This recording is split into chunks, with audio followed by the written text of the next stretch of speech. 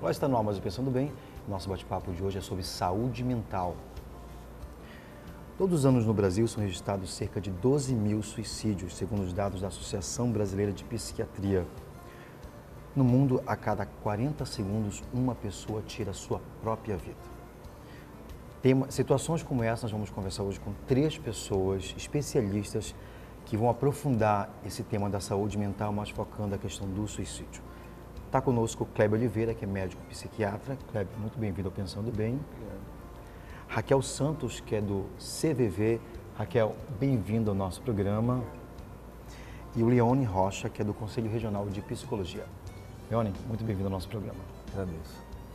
Então, excepcionalmente, nós teremos três entrevistados, três pessoas, três especialistas que vão contribuir e aprofundar sobre esse tema da saúde mental. Nós vamos aqui fazer, fazer o debate também junto com a produção da TV Nazaré.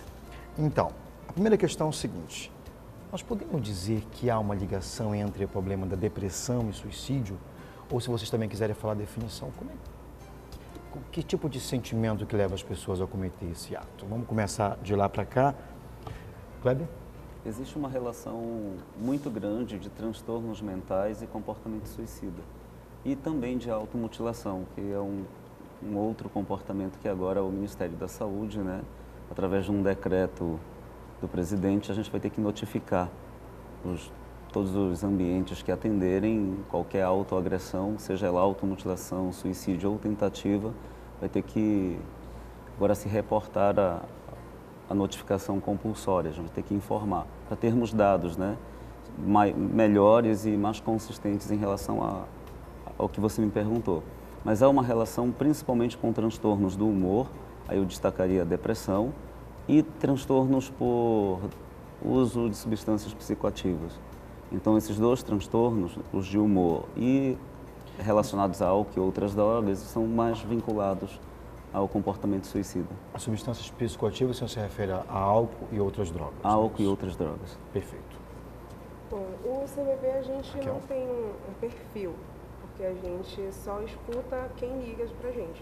Então a gente não tem como definir se ele tem ou não um problema que pode levar a isso, mas a gente vê que normalmente a solidão, a questão da tristeza, é que comove muitas pessoas a ligarem, a procurar o CVV. Então, só para a gente começar, já que nós estamos contigo, Raquel, como é que é, o que é o CVV? Qual é o trabalho do CVV para a gente começar a é, conhecer, essa, essa conhecer esse instrumento mais, né? que pode ser acionado, né? Uma ferramenta. Bom, essa ferramenta. o CVV a gente trabalha com apoio emocional e prevenção ao suicídio.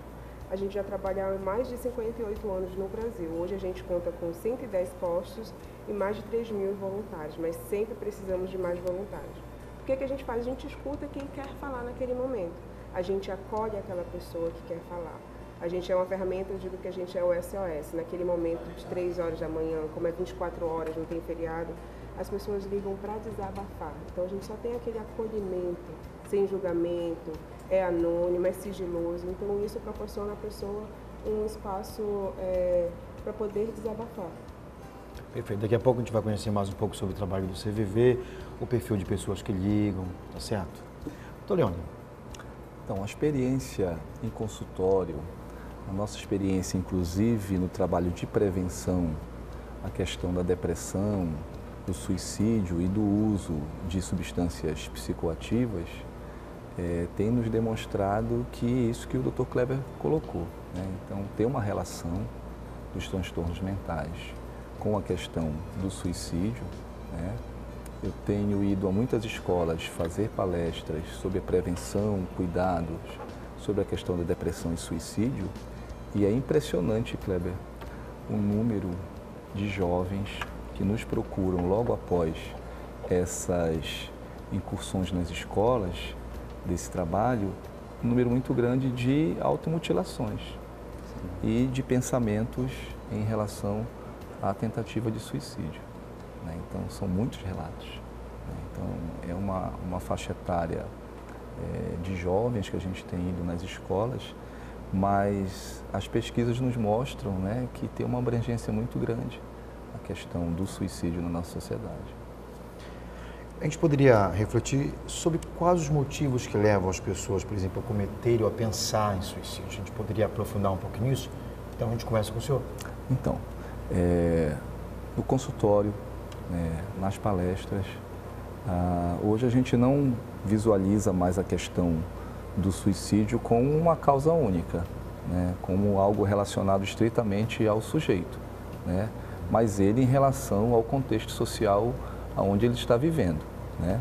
Saiu uma pesquisa recente do Conselho Federal de Psicologia, em conjunto com a Ouvidoria de Segurança Pública do Estado de São Paulo, e que nos faz repensar a questão da saúde, da prevenção de saúde e dos profissionais que atuam na segurança pública de uma forma geral. Inclusive, estávamos né? até conversando antes de começar o programa sobre esse aspecto. Sim. Favor, então, hoje você tem um número maior de mortes é, de policiais em São Paulo por suicídio do que em combate. Então, esse dado, um dado de pesquisa recente, assustador, né? assustador né, e que nos leva né, a repensar todo esse programa né, de formação e de cuidado a esse profissional da segurança pública. Mas até o próprio modelo de segurança em que ele está submetido, né? Sim, que tem a ver com a formação. Com a formação, né, tem a ver com as condições de trabalho e as condições de apoio a esse profissional que está no dia a dia lidando com a nossa segurança pública. Então, a partir da experiência do CVV, como é que vocês podem falar dos motivos que vocês, de levantamentos, talvez, das pessoas que que levam as pessoas a cometer esse tipo de ato? Bom, é, a gente recebe, a gente tem um, uma planilha onde a gente preenche com questão de temas, temática do telefone que a gente recebe. Às vezes é depressão, às vezes é término de relacionamento, às vezes é a solidão, a perda de um ente querido, de, de entendeu? Então a gente como CVV, a gente não tem como, diferente dos meus colegas aqui, que, que são profissionais da área, tem como formatar e, e dizer o que aquele indivíduo tem. E a gente não se prende a. A gente só está ali para escutar quem escutar. nos procura. Que tem, que tem uma demanda, digamos, é, que essa demanda ajuda a gente a compreender os, os fatos em si, né?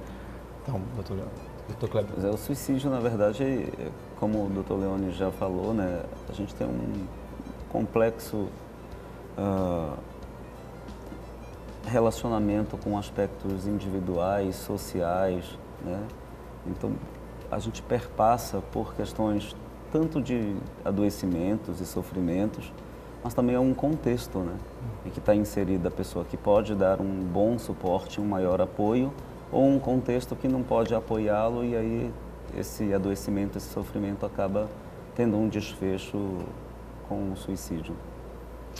Há um dado muito preocupante, segundo informações nós temos de, levantamento de dados oficiais, que 60% pessoas das pessoas, 60% das pessoas que cometem suicídio nunca procuraram um profissional.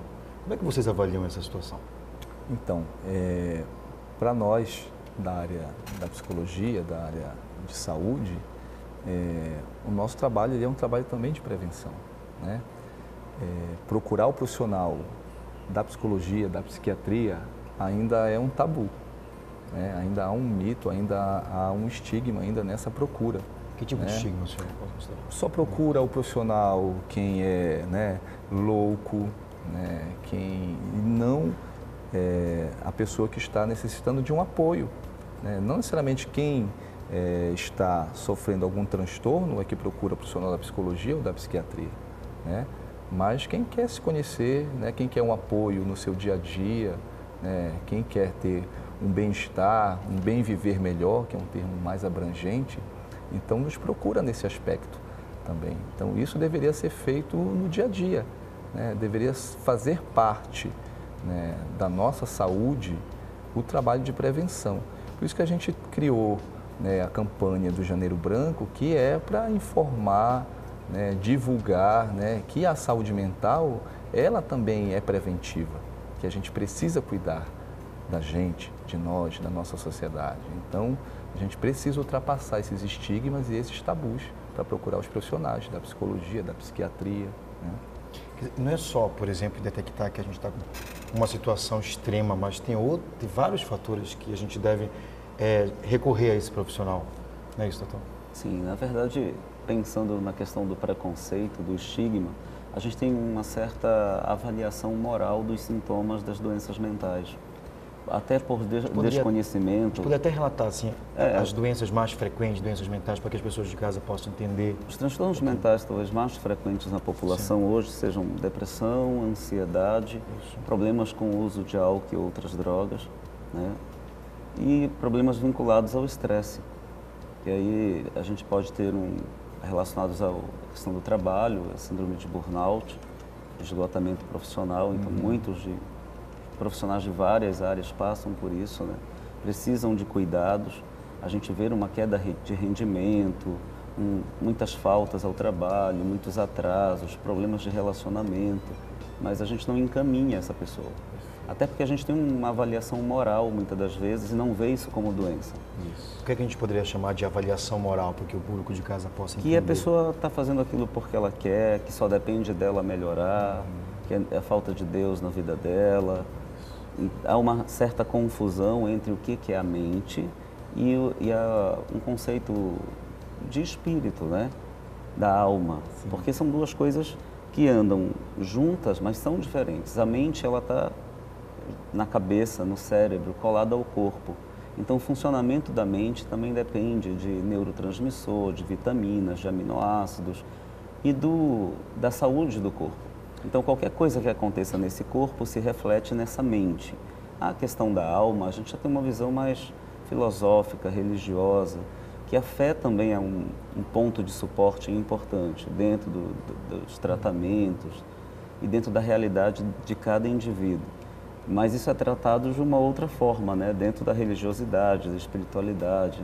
Isso contribui com o ser, com as intervenções, mas a gente tem que fazer essa divisão. Talvez a, a falta de, desse conhecimento ou dessa divisão é que leva a gente a achar que tudo poderia ser resolvido se eu quisesse ou se a pessoa quisesse.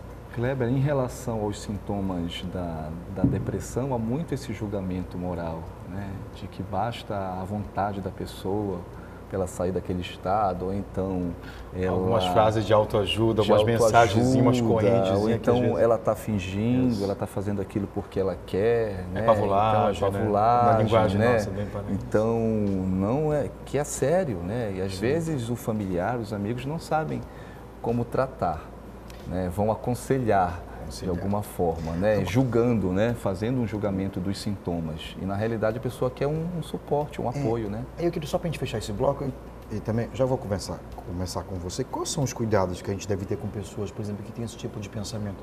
Os cuidados, inclusive, a orientação que vocês dão, começando contigo. Quais são os, de que forma a gente pode ajudar essas pessoas com, com esse perfil que a gente levantou agora há pouco? Entendi. Bom, a gente, a gente não aconselha, Sim. a gente não julga e a gente só escuta, a gente acolhe como né? o doutor falou, essas pessoas nesse momento elas só querem desabafar, só querem colocar aquilo para fora. E o CVV faz isso. Ele só escuta a pessoa naquele momento. Há uma conversa, mas é mais uma escutatória daquele indivíduo que nos procura. Uma escuta empática, empática né? Empática, é isso, sem julgamento, é, sem, julgamento, sem aconselhamento, né? Isso, isso, sempre, sempre. Então, percebendo essas características, o que é que vocês orientam? Como é que, como é que lidar com pessoas que a gente percebe que tem algumas características dessas doenças, que você, dessa, dessa, desse estado que as pessoas se encontram nesse caso?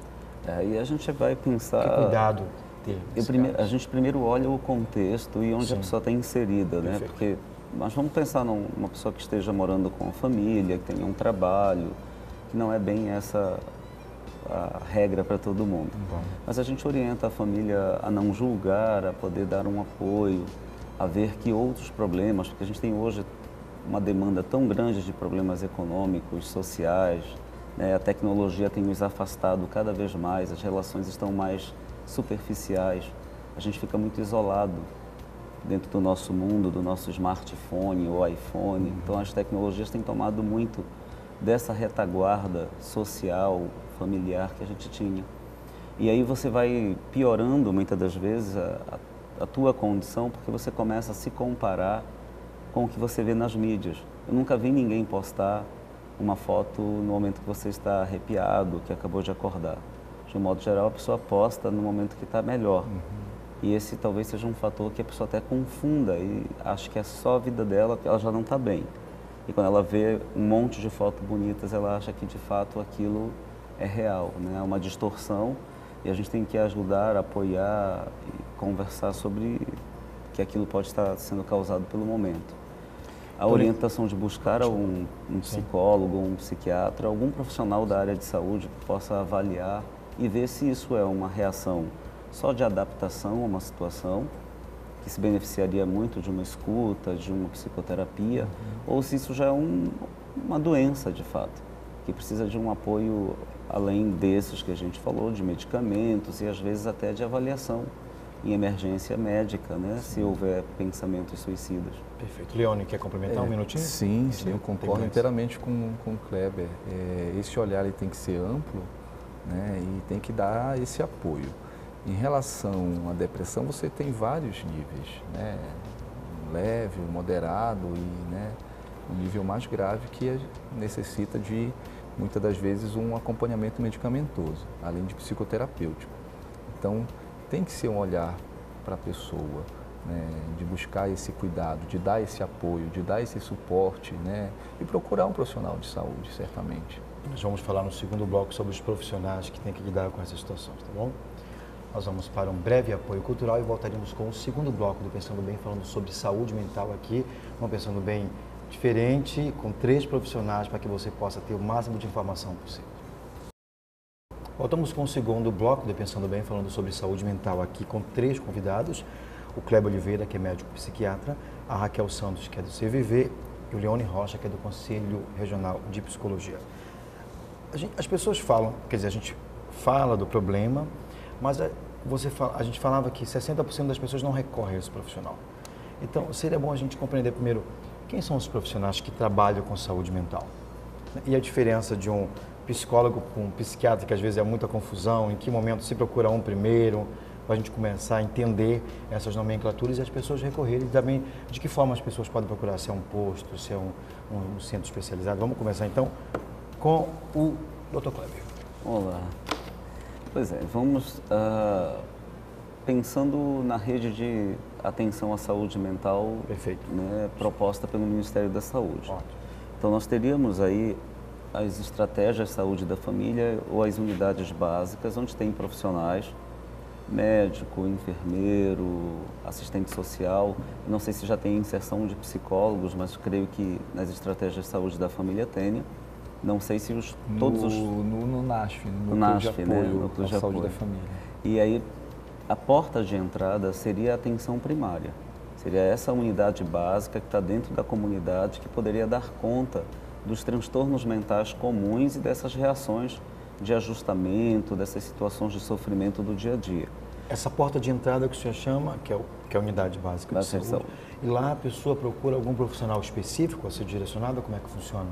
De um modo geral, elas acabam funcionando como é o acolhimento, um, por um caso. esquema assim, de você ter um agente comunitário de saúde, Perfeito. e um cadastro das famílias daquele lugar e marca uma consulta normalmente com o médico e a partir dali seguem os encaminhamentos. O clínico geral, no caso. O clínico geral. Sim. E aí a gente tem dentro da rede de assistência o NASF, que é o Núcleo de Apoio à Saúde da Família, onde já vai ter psicólogo, terapeuta ocupacional, né, uma equipe um pouco mais abrangente. Tem o assistente social, né, que faz toda a... Isso, toda a avaliação social, familiar da, da pessoa e que, se não puder resolver o problema, encaminha para o CAPES, que é o Centro de Atenção Psicossocial, que é um outro instrumento dentro da rede que consta com uma equipe de saúde mental dentro da comunidade. Situações de risco, é, ideação suicida, agressividade, insônia vários dias, autonegligência, isso já é uma questão de emergência. Aí já tem que ir no, no nosso estado direto para, para a emergência psiquiátrica do Hospital de Clínicas. Uhum. Aí lá é avaliado, dependendo do estado, ou fica em observação ou é encaminhado para um desses elementos da rede.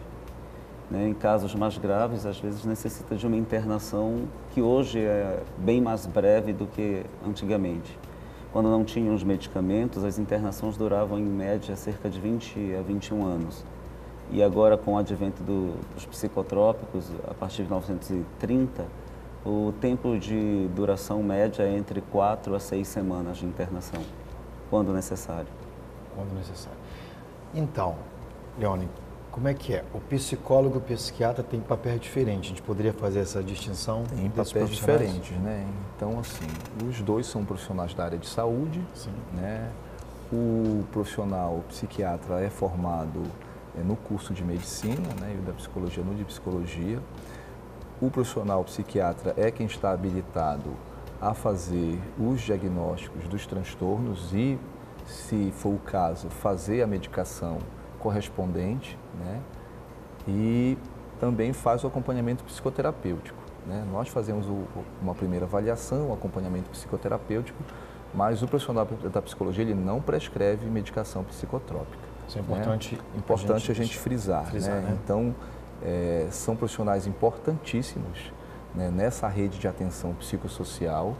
Né? Então, o ideal é que você tenha o profissional psiquiatra, o profissional psicólogo em todas as esferas dessa rede. Né? Nós temos uma, uma carência muito grande do profissional da psiquiatria, do médico psiquiatra ainda no nosso estado, né, Sim. Kleber? Há um déficit. Então, há um déficit. Depois a gente vai falar, voltar para o né? Kleber para a gente conversar sobre isso. E nós precisamos também estender, que eu penso, o profissional da psicologia em vários níveis da sociedade, não só da saúde.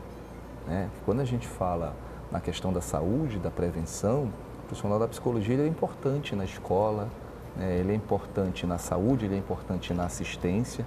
Né? Então, nós fazemos esse trabalho no NASF, né? que faz essa rede de apoio às unidades básicas de saúde, mas também no CAPES. Né? Nós estamos presentes nos, nos CAPES, que são diferentes CAPES. Né? Nós temos CAPES voltados só para atendimento infantil, CAPES voltados só para atendimento de pessoas é, que precisam de tratamento relacionado a substâncias de álcool e outras drogas, né? E temos os CAPs de internação muito breve, né? de acompanhamento, todo um trabalho feito junto com uma equipe multiprofissional, isso é importante dizer. Né? Nem o psiquiatra, nem o psicólogo trabalham sozinho. Sozinhos, né? Isso. Então precisa, especialmente nessa questão da saúde mental, né? desde você fazer a triagem, a avaliação dessa pessoa, deste paciente, deste cliente, né, fazer todo um acompanhamento de uma equipe multiprofissional. Né? Então, tem terapeutas ocupacionais, né, tem assistentes sociais, então, enfermeiros, técnicos de enfermagens, todos habilitados para atender né, os pacientes e as pessoas com essas necessidades, nesse sentido. Perfeito. Raquel, então, nós temos o psicólogo e o psiquiatra. Só que às vezes as pessoas não querem, ou melhor, não recorrem nem a um profissional nem a outro, e liga para o CVV para ser escutado. Nessas escutas, vocês fazem algum tipo de encaminhamento ou só é mesmo a escuta? Como é que funciona mais assim a metodologia de trabalho de vocês? Bom, a gente não encaminha, né? Sim. É, não orienta? Não orienta, não. Certo. Até mesmo é a questão de não é, dar conselho. Perfeito. A gente só escuta. Mas, assim, o CVV entende o quê? Que às vezes a questão do preconceito de procurar os profissionais de saúde, de, ainda tem aquele, se vou para ele porque eu estou ficando louco. Então, às vezes, o CVV pode ser uma forma mais é, fácil de encarar que ele está com um problema e que ele precisa realmente procurar. E esse indivíduo que nos procura, na própria conversa que a gente tem com ele, ele mesmo cai em algum momento se ele disser, eu acho que eu preciso de ajuda. E não é o voluntário que fala, é a pessoa que está conversando, quando ela verbaliza e escuta o que ela falou, e ela vem em algum certo momento que ela diz, não, eu acho que eu preciso de um profissional, eu preciso de um psicólogo. Mas o CVV a gente não, não aconselha. O, a, quando há uma, de uma pessoa que acredita, eu preciso de um profissional, vocês reforçam isso? Como é que é o feedback? É, o, na, normalmente essa pessoa mesma ela faz esse auto-feedback. Ela conta e a gente está conversando ali, escutando, e ela mesma chega ao ponto. E em alguns momentos que tem pessoas que, em situações, na verdade, normalmente de suicídio, uhum. hoje a gente nem faz mais isso, como é nacional, a gente não tem. Que às vezes a pessoa fala assim, ah, eu preciso do número, ah, me automediquei, eu queria um número de, de, de, da emergência. E a gente, como voluntário, a gente, mas a gente tem a informação. Quando essa pessoa pede essa informação, eu preciso de uma emergência que eu não sei, a gente, como voluntário, pode disponibilizar, olha, então o número de emergência é tal, porque normalmente o número de emergência é nacional. É, é esse. Mas a gente não encaminha, a gente não tem como fazer isso. A gente só orienta, dá aquele apoio. E, e, é um apoio muito significativo, né, no momento? Sim, a gente salva a vida. É, a gente acredita que é o suicídio se dá para prevenir. O CVV Comunidade, que é o que está mais perto hoje em dia da comunidade, onde a gente vai dar palestra, onde a gente então a gente percebe que às vezes com essas palestras a gente faz pessoas que estão ali vendo a palestra procurar profissionais da saúde.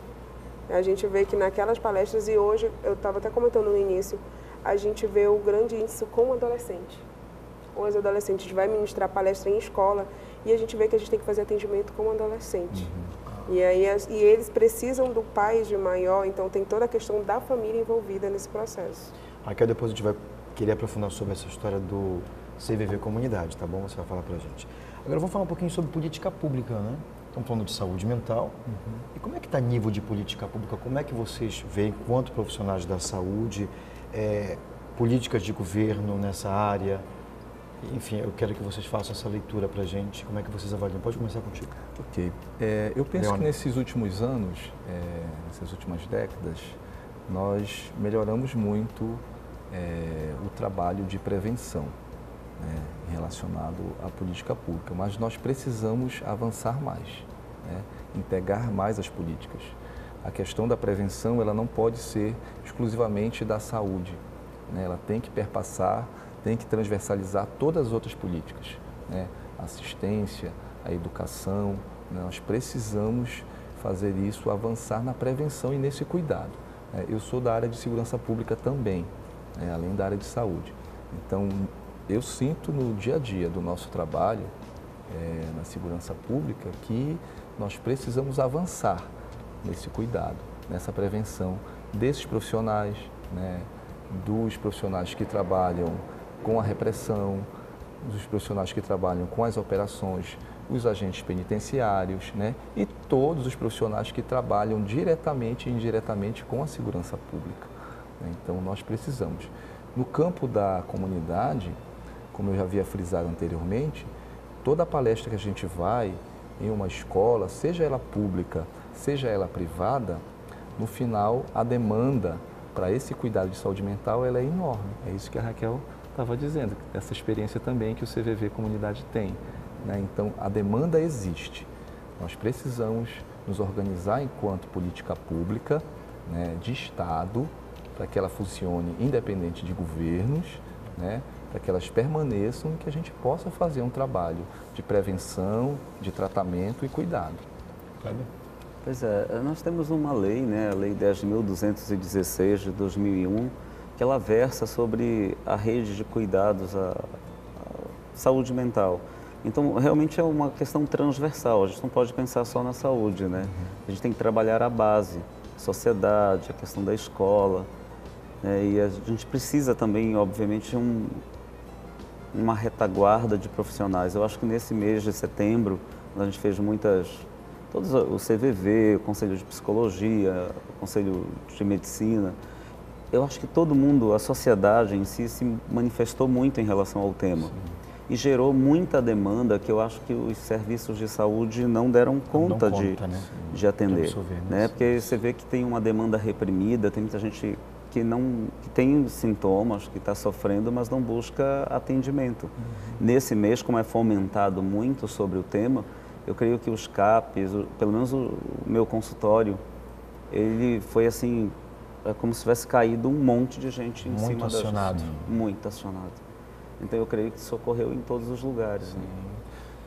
Eu, falo, pois não, pode eu comentar. penso que, por exemplo, é, reforçando isso que o Kleber está colocando, nós precisamos ter estruturas melhores, é, físicas dos CAPs, né, mas também um número maior de profissionais né, e bem remunerados. Né, porque você tratar de prevenção, você tratar de saúde mental, requer também todo o investimento. O profissional que chega lá, né, ele teve toda uma informação, todo o um investimento na sua formação e toda uma especialidade para cuidar destas situações. Então, nós precisamos melhorar essas estruturas de atendimento à população. Precisamos aumentar o número desses profissionais que fazem esse atendimento de saúde mental na rede. Né? Perfeito. Nessa estratégia, digamos, dessa política pública, a gente já está terminando esse bloco, mas é importante também a gente trabalhar no sentido das pessoas perceberem a questão da saúde mental e recorrer aos profissionais, aquela questão mesmo do. Porque a gente tem muitos, pré, você falava no início, muitos preconceitos, as pessoas. Então é importante a gente trabalhar nessa questão da prevenção e as pessoas perceberem sintomas e procurar o profissional no mutirão nesse sentido. Não sei se o, o setembro trabalhou esse aspecto, Cláudio. É, eu acho que, que assim, da gente poder reconhecer sintomas, eu acho que às vezes a gente até reconhece, mas ainda existe uma barreira muito grande do social em relação a esses sintomas, né? de como eu sou encarado quando eu vou no psicólogo. Uhum. Dentro da faculdade de medicina, por exemplo, a gente tem um, um lugar que a gente atende os alunos. E aí os alunos queriam marcar sempre em horários em que a faculdade não estivesse funcionando, para que ninguém os visse entrando naquele lugar onde ele sabidamente seria atendido né? por um uhum. profissional psiquiatra, psicólogo, então, acho que a gente ainda tem que avançar um pouquinho nessa questão de, da naturalização ou de uma aceitação melhor do adoecimento psíquico, como a gente aceita o adoecimento do corpo, né? Perfeito. É, eu acho que é uma questão que a gente pode trabalhar no próximo bloco. Eu acho que é uma questão de classe, por exemplo. Como é que a gente, nós temos, não podemos né, deixar de, né, não podemos negar a estrutura social que a gente vive e o acesso. Uma coisa é você ter um plano de saúde em que você pessoas que têm condições financeiras para acessar esse serviço. Vocês imaginam aquele massa de pessoas nas periferias, por exemplo, com um monte de problema de saúde mental e não nem, nem chega, digamos, ao conhecimento dele que, que ele está com esse problema, por exemplo, e não há essa informação nesse sentido. É uma questão de classe mesmo, porque essas pessoas não têm acesso aos serviços e quando tem é muito limitado o CAPS para você ter uma consulta é três meses com o psiquiatra, a gente sabe disso, da dificuldade. Então a gente pode retomar no próximo bloco esse aspecto mesmo, essa diferenciação de classe do acesso aos serviços. Vamos lá então no próximo bloco? Nós vamos para um breve apoio cultural e voltaremos com o terceiro e último bloco do Pensando Bem, falando, falando sobre saúde mental aqui com o Kleber Oliveira, com a Raquel Santos e com o Leone Rocha. Nós voltamos com o terceiro e último bloco do Pensando Bem, falando sobre saúde mental, aqui com três convidados super especiais. O Kleber Oliveira, que é médico psiquiatra, a Raquel Santos, que é do CVV, e o Leone Rocha, que é do Conselho Regional de Psicologia. Eu falava anteriormente, no, no bloco anterior, sobre essa questão de classe mesmo, do acesso. É, temos, recebemos informações aqui da nossa produção, por exemplo, que os, os planos de saúde também têm uma quantidade limitada de consulta para profissionais da área da saúde, acho que são, parece que seis, tem uns que nem cobrem isso. Como é que a gente lidar com essa, com essa falta de acesso desses, desses profissionais, especialmente em ambientes com as pessoas têm menos acesso ainda por questão de classe? Vamos começar contigo, Leoninho. Sim. Bom, importante é, a gente frisar que nós temos profissionais, tanto na rede pública quanto na rede privada. Né? Eu falava anteriormente da importância da gente valorizar, inclusive de forma é, remunerada, esses profissionais. Né? Então, uma, é importante que o profissional que trabalha com plano de saúde, com os vários planos de saúde, ele também receba essa importância do plano de saúde. Né? Porque quem procura também a rede complementar, a rede privada, necessita de um bom atendimento, de um profissional que esteja lá também com sua dignidade respeitada. Né? Então, a demanda dos colegas que atendem os planos de saúde, elas também são enormes. Né? Então, é, você limitar quem necessita do atendimento, talvez precisasse ser revisto né? porque é difícil você dizer, não, a pessoa vai estar bem em três sessões, em duas sessões, em seis sessões. Não tem como você prever como. isso. Né? Então, isso precisa ser repensado. Na rede pública, é, nós precisamos ampliar a estrutura porque a demanda é, ela é muito grande para esse atendimento. E cresce a cada dia, né? Cresce a cada dia e talvez a gente precise repensar em estar mais próximo da comunidade, né? com os trabalhos talvez de prevenção e cuidado. Mas não adianta você ir na comunidade se depois você não vai ter um aparato de profissionais e de estrutura para atender essa demanda posterior. Né? Então, você precisa trabalhar a prevenção na comunidade, nós precisamos estar mais próximos da comunidade, mas ao mesmo tempo nós precisamos ter a garantia de estruturas e profissionais que possam atender essa demanda posterior. Kleber, você é um profissional, digamos assim, de luxo, no, sentido, é difícil acessar um psiquiatra, até pelo valor de consulta, pelo número de profissionais, tem uma série de fatores. Que não é uma responsabilidade de vocês, ó. Como é que a gente vai lidar com essa realidade, com a carência de profissionais? Eu falava agora de pessoas de baixa renda que não tem como pagar uma consulta. Como é que, como é que a gente vai lidar com essa conjuntura, Clep? Pois é, teoricamente, né, é aquilo que a gente estava falando sobre leis e mais a lei recente da automutilação, uhum. a gente vai meio que tendo muitos papéis sendo colocados em cima da mesa com regulamentações e protocolos. Mas aumentando as responsabilidades de vocês. Não né? é? Mas, assim, de alguma forma não se garante a permanência de profissionais na rede pública. Você vê os CAPs, eles não conseguem manter os mesmos profissionais, uhum. né? Que seriam centros especializados que não contam com psiquiatras. Tudo bem que nós somos poucos, acho que nós somos atualmente 95 psiquiatras no estado, mas nós temos alguns profissionais médicos que Não, são treinados Kleber, em saúde só mental. 95 só 95 no estado do É, porque para ser considerado especialista, Pouco. tem que ter feito três anos de residência em psiquiatria, psiquiatria, ou ter feito a prova de título. Perfeito. Né? Mas a gente tem uma preocupação já do Ministério da Educação e do Ministério da Saúde, porque dentro da Faculdade de Medicina, a carga horária de saúde mental ela aumentou muito. Porque a gente e aumentou também a carga horária de saúde do idoso, que são duas demandas que só crescem uhum. e que não eram tão trabalhadas antes. Dentro da residência de psiquiatria, nós recebemos é, médicos que estão fazendo residência em neuro, clínica médica, medicina de família e comunidade, pediatria, porque são médicos que podem, todo médico pode avaliar dentro da sua, do seu treinamento, da sua capacidade. E em casos que não sejam tão complexos, né, que precise do especialista, um clínico geral bem treinado, ele pode fazer esse atendimento. Sim. Ele pode conduzir junto com, com um psicólogo, com, com equipe multidisciplinar. Não necessariamente assim, o psiquiatra. O psiquiatra acaba ficando reservado a situações mais graves, né?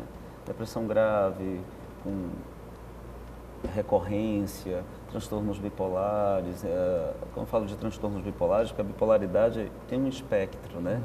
Em casos mais graves, casos mais a menos. Uh, dependência química, a gente também tem provavelmente que casos mais graves do, necessita do, do psiquiatra, mas existem transtornos mentais comuns e frequentes que alunos nossos da, da graduação estão sendo bem treinados para conduzir. Só vamos enumerar esses transtornos mais simples, frequentes? Depressão, ansiedade, ansiedade, e uso de substância psicoativa. Então, você acredita Álcool que e outras drogas. outros profissionais, no caso os profissionais os estudantes, podem... É... Os médicos clínicos gerais têm como conduzir Tem os como casos conduzir mais leves a moderados. Perfeito. Desde que tenham um treinamento adequado. Né? Então, aqui a gente falava de uma realidade, de um, um território específico, digamos, nas comunidades, nas periferias, da, da dificuldade de acesso a esse profissional. E o CVV tem um projeto chamado CVV Comunidade. Como é que é isso? Fala pra gente. Bom, o CVV Comunidade é uma perna do CVV, a gente diz, né? E o que, a que a gente faz? Que caminha bastante. Que caminha bastante precisa de muito voluntário. É então, aqui em Belém, a gente tem dois cursos por ano para ser voluntário de CVV. É só entrar no site do CVV. Explica pra gente direitinho. Que é, é o cvv.org.br. É entrar lá no canto esquerdo, tem Seja um Voluntário CVV. Você vai colocar Repete suas informações, cvv.org.br. E aí você vai colocar suas informações. Quando tiver os cursos, é, vai notificar, a gente pode, notifica Pode ligar para o 88 também, se quiser? Sim, o 188 ele vai dizer o site também direitinho, porque ah, tudo tem que entrar no site para se cadastrar. Perfeito. E aí, cada região, quando tem esses cursos, é, eles informam as pessoas que se inscreveram para ser voluntário do CVV. Então, a gente sempre está precisando de voluntário, porque a gente tem atendimento é, telefônico pessoal no posto, que é lá na Manuel Barata, bem ao lado do, do no Efante de Sagre, no quarto andar. E a gente tem atendimento telefônico, ainda tem atendimento com a comunidade. Como é que é isso? Explica pra gente. Olha, o atendimento com a comunidade, hoje a gente faz parte de um, tem um grupo que é o GAS, que é Grupo de Apoio a Sobrevivente ao Suicídio, que acontece toda terça-feira, quinta do mês, no Ivon Costa, às 15 horas. Para que é esse grupo? É para pessoas que Ivan perderam... Costa fica ali na... Na Castelo. Castelo. Isso. É o Centro Espírita, né? Centro Espírita. Okay. É, então, a gente, é, foi o lugar que a gente conseguiu um espaço, que cederam um espaço para a gente manter essas reuniões. Que são pessoas que perdeu alguém para suicídio, pensam no suicídio, ou é, tá, não está num momento ruim, é, bom na vida, né? Para perceber que não está sozinho. Então, a gente tem todo um treinamento para trabalhar com aquela pessoa. E também vai do mesmo é, sigiloso e anonimato. E aí, além disso, o CVV Comunidade, a gente disponibiliza para a comunidade cursos de é, é, escutatória, a gente só vê cursos de oratória, né? Então Sim. o CVV tem uns cursos de, é, de escutatória que é gratuito. A comunidade, qualquer pessoa pode procurar o CVV e pedir esse curso. Se tem um público, um espaço, um voluntário do CVV que é treinado para isso, vai lá e ministra esse curso. Porque o que o CVV quer? É que a gente plante essa sementinha e que as pessoas comecem a, a, trabalhar o que sente, a ter empatia pelo sentimento do outro, a acolher o outro e quebrar esse preconceito de procurar os profissionais da saúde. Uhum. E a gente percebe que o atendimento aumentou no CVV porque, como a gente estava até falando aqui em questão de saúde pública, como é tão caro, como é difícil e é muito, às vezes o CVV é o acesso mais rápido aquele. E o 188 é um ganho que a gente conseguiu, porque o 141 era cobrado, o 188 agora é nacional, então é um ganho. Então a gente fica muito feliz quando a gente percebe que a, a questão da saúde pública, a questão, estão prestando atenção. A gente sabe que tem muita coisa para ser feita, mas a gente fica feliz quando a gente consegue um passinho, né? A gente está há 58 anos aqui no Brasil e agora é que a gente vê que a, e a questão da prevenção não é só em setembro amarelo, é o ano todo. Sim. A gente já tem palestra, pro, mas a gente percebeu que esse mês todos os locais ficaram lotados, atendimento é você, é quatro horas semanais que o voluntário faz. A partir de que eu chego lá no plantão, não para o telefone. E você vê o índice aumentando cada vez mais. E é 24 horas. É um trabalho que não para, é 24 horas. E 24 horas tem pessoas ligando para gente. Que legal. Parabéns pelo trabalho, Raquel. Perguntar para vocês dois aqui, qual é o perfil das pessoas que apresentam, digamos, as, a, problemas com a saúde mental? É jovem, é criança, é idoso? Como é essa predominância de classe? Leone? Bom, é, nessa atual conjuntura, nessa vida moderna. Pela gente... experiência nossa de consultório, é, os perfis são os mais variados, praticamente em todas as faixas etárias. Todas as faixas etárias. Isso. Então, seria interessante, inclusive, nós aprofundarmos é, as pesquisas, né, melhorarmos as notificações, porque há subnotificações, né, para a gente poder é, ter um perfil mais abrangente, né, e de uma forma mais científica. Mas hoje, vamos ver um dado interessante que saiu de pesquisa no Brasil. Né? Então, você tem um número muito grande de casos de suicídio na faixa etária de 60 a 70 anos. Então, a gente precisa atentar a essa população também. Né? Então, é, 60 a 70 anos? 60 a 70 anos. Né? Isso em pesquisa. Há uma outra pesquisa, por exemplo, que foi feita em, em São Paulo com estudantes da rede pública do ensino médio, né, em que dentre 500 estudantes entrevistados, cerca de 174 pensaram em cometer suicídio. Qual a faixa etária? Faixa etária de 14 a 16, 17 anos, né, dependendo da escola. Então, é um dado importante a ser analisado. Um outro dado curioso que, que saiu recentemente também é o número de povos, nas populações tradicionais, o suicídio entre os povos indígenas. Sem dúvida. Né? Nas populações indígenas, eu já trabalhei com populações indígenas, né? então coordenei um distrito sanitário aqui no Pará. Então, é entre a população indígena, das várias etnias no país, é muito maior a incidência do que na população em geral né, na população indígena, por vários fatores. Né? Deve ter a ver com essa conjuntura também de desterritorialização, né, invasão de terras e tudo É por isso que nós, que o Ministério da Saúde né, criou o programa Bem Viver, né, que foi um programa inclusive é, intitulado é, pela própria população indígena, porque para eles o bem viver está relacionado com várias situações, com a terra, com a floresta, com o rio, afetiva, com a né? cultura, com a relação afetiva com a comunidade, com a sociedade de uma forma geral. Então, esse bem viver cuida né, dessa parte de saúde mental das populações indígenas. Perfeito. Kleber, tu tem uma demanda específica, né? Você trabalha especificamente com crianças. Com né? crianças, eu sou psiquiatra da infância e é uma outra faixa etária que eu acho que não sei se aumentou a prevalência, provavelmente aumentou também, mas aumentou também a procura, né? Os pais eles não estão mais ficando em casa com essas crianças com atraso de fala, com agitação, sem conseguir dormir, agressividade. Isso tem trazido uma demanda muito grande, não só para os ambulatórios que contam com psiquiatras que atendem criança, mas para o CAPES da infância e adolescência, que é um local público que atende também essa faixa etária.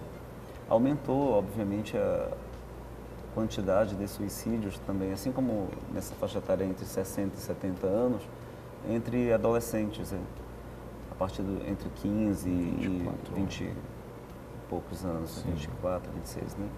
E isso provavelmente tem muita relação com os novos aspectos da sociedade também. É, aumento da violência, problemas econômicos, a questão das tecnologias, né, como a gente havia falado antes, a gente pouco hoje se relaciona diretamente com as pessoas e quando se relaciona é muito superficial, então você não tem a quem contar. E aí o CVV entra, né, dentro dessa escuta, nesse lugar que hoje a sociedade não dá mais conta. As famílias hoje, na modernidade, trabalham muito. De um modo geral, os filhos ficam com cuidadores, quer seja em casa ou numa creche, e os pais o dia inteiro trabalhando. E aí, quando vai ter o contato com a criança, normalmente já está muito cansado, ou cede demais, uhum. ou não dá nenhuma atenção. Que tem, como conse tem consequências, né, Cleber? É, o excesso né, de, de você não, não dar limites, né, de você permitir. É, isso, obviamente, cria um, uma geração de pessoas que não sabem lidar com frustrações. E até a substituição dessa presença física, né, por outros, por outros artifícios, por outros mecanismos tecnológicos, né? Então, as relações elas ficaram muito líquidas na nossa sociedade, muito frágeis, né, muito, muito frágeis, né, dentro de casa, no trabalho, na sociedade de uma forma geral, né? E é isso que às vezes a gente percebe que essas pessoas que não ligam não conseguem falar, conversar com pessoas de casa e prefere fazer o contato com um estranho Sim. naquele momento, que é mais fácil. A gente, como pessoa, a gente pode falar, é mais fácil a gente contar coisas da nossa vida para um estranho para quem a gente conhece. Então a gente vê que o aumento de pessoas que está falando com a gente, às vezes os pais estão na sala, ou às vezes o marido está, mas não consegue. E prefere ligar para o CVV. Sim. Bem, nós estamos já, infelizmente, a gente queria Poxa. continuar o dia todo com esse programa, nós estamos encerrando. Nós queríamos que você deixasse um recadinho, como é que as pessoas podem, na verdade, se prevenir ou como procurar um profissional. Uma mensagem também para as pessoas que estão passando por esse momento, que também um dos nossos objetivos é, além de elucidar as questões, mas também a gente dar um toque para as pessoas, colaborar com as pessoas para que elas possam ter vida. Vamos começar com você, Cleber. Reorganize a sua vida, perceba-se como pessoa, perceba os seus sentimentos, né? E quando as coisas estiverem numa num nível que você acha que não está aguentando, procure um profissional da área de saúde mental para conversar e ser avaliado. Bom, eu como CVV, é, lembrar sempre desse número, é 188. Sempre que você precisar conversar, seja contar tristeza, alegrias ou apenas conversar, sempre vai ter um voluntário disponível ali, 24 horas para você.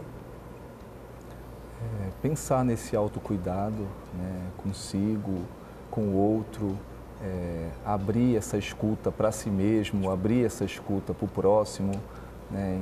ser, fazer da sua vida algo diferente. Né? Então, dar uma importância para o trabalho, sim, mas também para o lazer, para a cultura, né? para atividades esportivas né? e, sobretudo, relacionar mais, né? fazer com que a sua relação social dentro de casa, no trabalho, na sociedade de uma forma geral, ela possa ser satisfatória para você, né, para a pessoa com quem você está compartilhando a sociedade, a sua família, o seu colega de trabalho. Né? Então, fazer coisas que nos deem prazer né, e que tenham importância, abrindo essa escuta para você e abrindo essa escuta para o outro que está com você. Quiser viver vale muito a pena, né? Sim. Então, acho que cada profissional que está aqui, cada serviço que, que a sociedade pode, digamos, acionar, é uma demonstração de que viver vale a pena, seja procurando psicólogo, psiquiatra ou serviço de vocês. Nós queremos agradecer imensamente a contribuição e as reflexões feitas aqui no Pensando Bem. E a você que estava aí, no outro lado, nós queremos agradecer a sua companhia. Esperamos que esse programa possa ter contribuído para a gente refletir sobre quão importante é a vida e que vale muito a pena viver. Nosso muito obrigado e até o próximo programa.